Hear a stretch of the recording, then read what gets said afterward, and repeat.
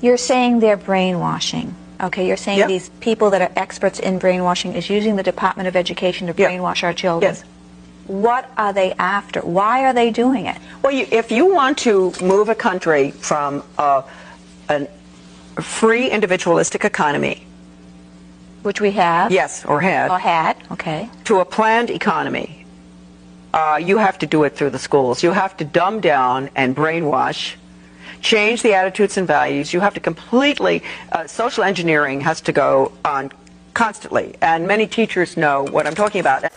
We know it's happening. We know that it has been happening across the world, but really in America for the past 80 years. Folks, let me tell you something. There should have never been a separation of church and state. It's actually unconstitutional. There is a Bible from the 1700s that has approved for schools by Congress in the front of it. Why is that, Sam? I thought there was separation of church and state. There was never supposed to be the removal of God from public schools. When they did that, it allowed sin to take hold of children's minds.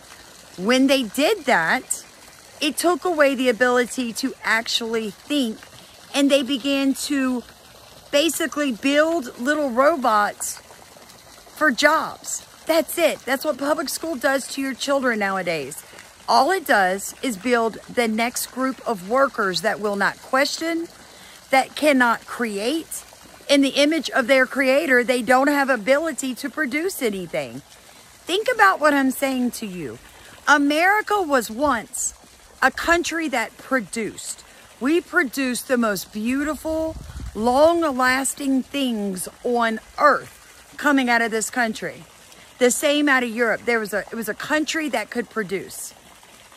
Over the past 80 years, we began to be a country that consumed. We consumed. Look around you. If you can't see gluttony everywhere that you look, I'm not white. Welcome back, guys. My name is Samantha. I am the owner operator of a two acre farmstead here in South Louisiana. And the only thing that I do with these videos is try to show you the hypocrisy, the lies, and the evident evil that's staring you straight in your face. So, YouTube and people in the world hate truth, but for the ones of you that love it, please consider rowing with us. I don't care if you send a dollar, I don't care if you send 50 cents or 50,000. It's not a big deal to me. Anything you can do to help us stay on the air is appreciative. Look at the top of comments. There's five different ways that you can row in our boat. century when the Rockefeller Foundation and the Carnegie Corporation were deeply involved in education. And that it was decided then that Carnegie would deal with the international part and Rockefeller domestic. They commissioned the American Historical Association to put together uh, a study of the social, social studies. And they came up with uh, lots of volumes, but I have one little volume, Conclusions and Recommendations for the Social Studies. And basically, that little one is, it called for changing the United States through the schools from a free individualistic economy to a, a socialist, collectivized, planned economy in the New World Order. Now, I once was a public education teacher. I taught in public schools for seven and a half years. I have four certifications to teach. I ran a Class A daycare. I taught daycare workers how to do their job. I seeded a Montessori private school and I've homeschooled for people. I have a very rich and varied background in education.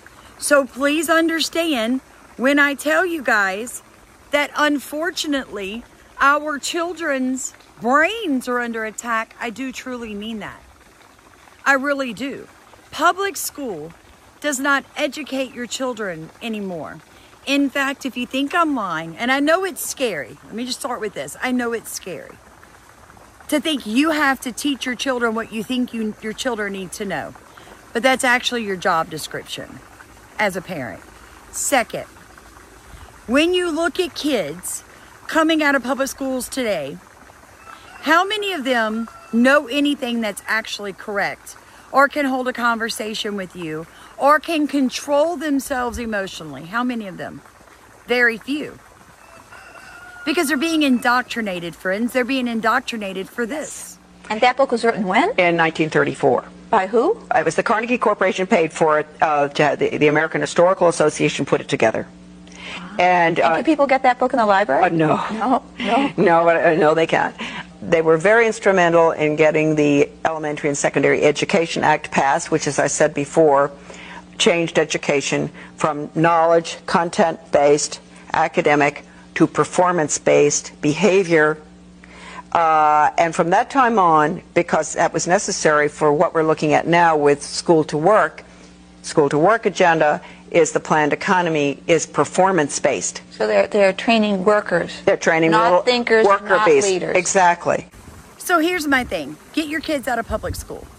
I know what you're going to say because I hear it all the time. Excuse number one I'm a single parent. Excuse number two we don't have enough money. Excuse number three I don't know how to teach my kids. Excuse number four I need them in school for all the other reasons I just mentioned. Stop making excuses. Let me tell you how you do it. Join a church. You encourage someone in the church to start a school. You help seed the school. That's what seeding means.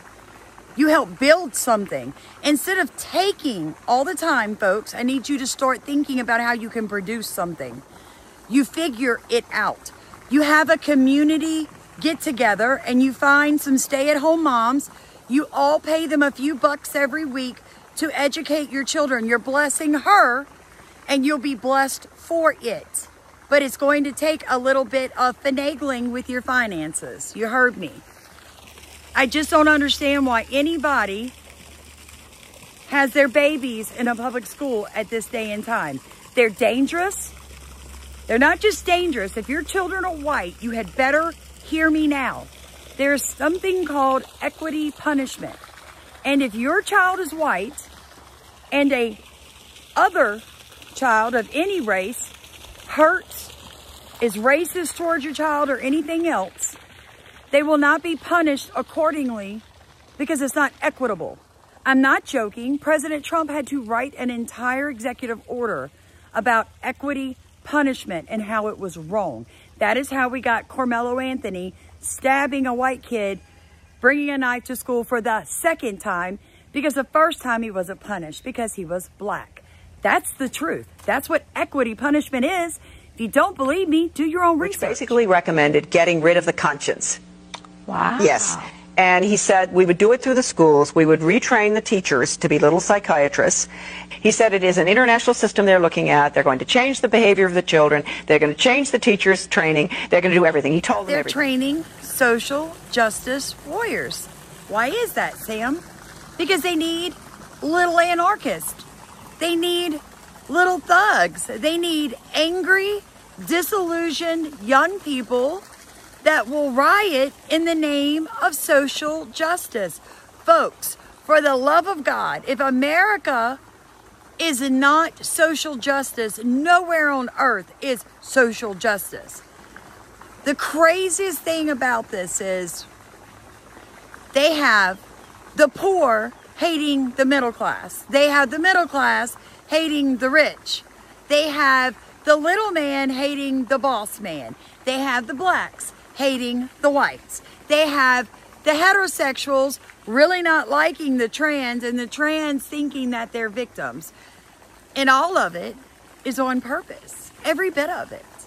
Every, every bit of it is a staged coup of your brain. And the shame of it is the majority of people cannot even open up their brain enough to absorb that. You have black people in America walking around like they're actual victims of what? What are you a victim of? Historical black universities? Free everything? Top of the list for hiring? Companies get tax deductions for hiring you from the federal government. Come on now. You can say what you want, but equality, equal means everybody and everything is equal. It means when you're watching horse races, a couple of those horses aren't weighted down with 5, 10, 20 pound blocks because, oh my gosh, they're faster than the others. Yeah, when you really open your eyes to the fact that everything is rigged so that the least able can feel good about themselves. The least able have a shot at playing with the big people. You don't have to, to look very hard to see why we have a mediocre society. This is not how you bring out the best in society. Because when it all crashes down, and eventually, folks, it is, all things come to an end. Only the strong and the able are going to survive it. People who are used to having things done for them, for things given to them, they'll starve. It's happening in South Africa right now. That's what I got for you where education is concerned. Hang around, folks. I've got some more good stuff coming later this afternoon. Like, comment, and subscribe.